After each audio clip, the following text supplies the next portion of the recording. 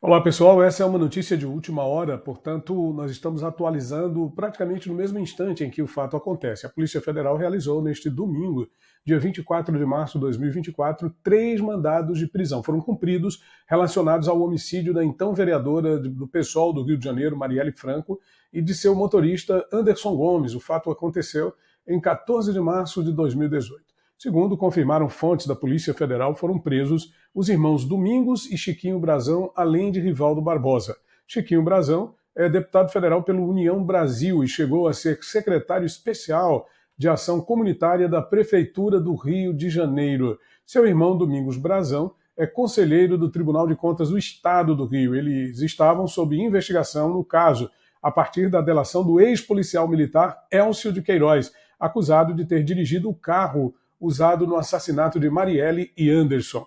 Em entrevista ao Globo, em janeiro, o conselheiro afirmou ser inocente e não ter ligação com o crime. Não conhecia essa gente, graças a Deus. O terceiro preso preventivamente, Rivaldo Barbosa, é ex-diretor da Polícia Civil do Rio de Janeiro. Segundo a fonte da PF, ouvida pela imprensa, a morte de Marielle teria sido encomendada por conta da resistência da vereadora a um projeto de lei que regulariza condomínios na zona oeste do Rio de Janeiro. A zona oeste tem bairros controlados por milicianos que exploram empreendimentos imobiliários na região.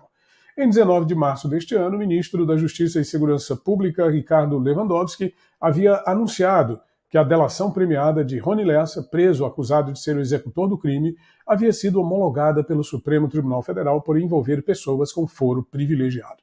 Ministro havia dito que a conclusão do caso Marielle ocorreria em breve, para decepção completa dos esquerdistas. Domingos Brazão, conselheiro do Tribunal de Contas do Estado do Rio de Janeiro, foi deputado e, ao mesmo tempo, eleitor da senhora Dilma Rousseff do PT, eleitor de Lula do PT. Seu irmão, que é aí o, o deputado federal Chiquinho Brazão, também preso nesse momento pela Polícia Federal. Um outro detalhe interessante é que o Chiquinho Brazão, do União Brasil, mais ligado ao Centrão e, portanto, mais ligado às pautas do suposto governo Lula do que a qualquer outro espectro político uh, atual do Brasil, só existem dois.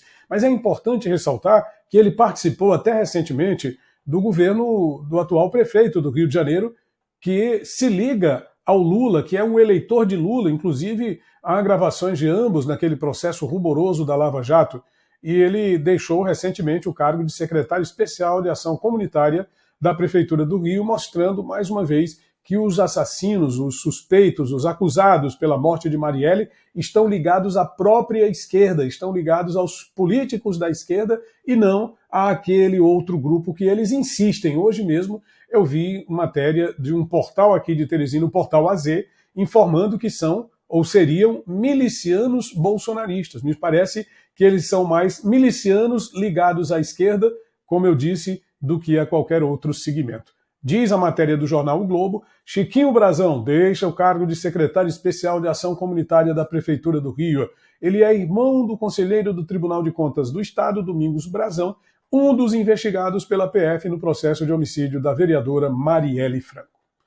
Essa conclusão da Polícia Federal, das investigações realizadas, silenciam todos aqueles que eram implacáveis acusadores de outro segmento político que não a esquerda, de outros políticos que não aqueles mais ligados ao suposto governo atual.